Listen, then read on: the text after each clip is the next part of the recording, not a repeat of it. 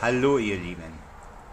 In dieser Videoreihe möchte ich euch den Bau eines Elbenbogens demonstrieren.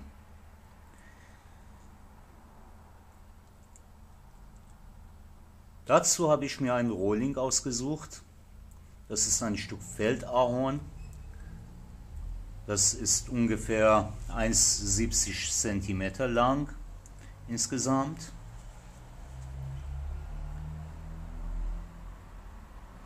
Und ich habe schon den Form des Bogens auf aufgezeichnet. So, unter einem Elbenbogen konnte man ja einiges verstehen. Aber ich denke, das Design des assyrisch-asketischen Bogens sehr gut dazu passt. Und äh, daher habe ich äh, diesen Design ausgesucht. Man konnte so einen Bogen dann mit ein paar äh, Runen verzieren und das wird dann wunderschön aussehen wie ein Elbenbogen.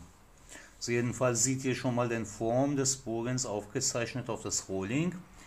Und äh, ja, obwohl es mir so richtig in den Fingern juckt, jetzt das rauszuschlagen, aber der Nachbar unter mir hat ein ein Monat altes Kind und äh, ja, das bringe ich nicht über das Herz, den kleinen wach zu machen, obwohl es mir in den Fingern juckt, daran weiterzuarbeiten.